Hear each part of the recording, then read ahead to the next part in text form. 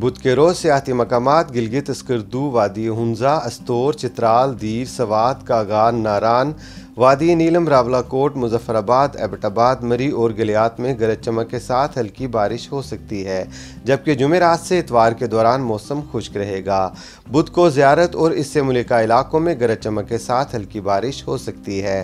ताहम जुमेरात से इतवार के दौरान मौसम खुश्क रहने का इम्कान।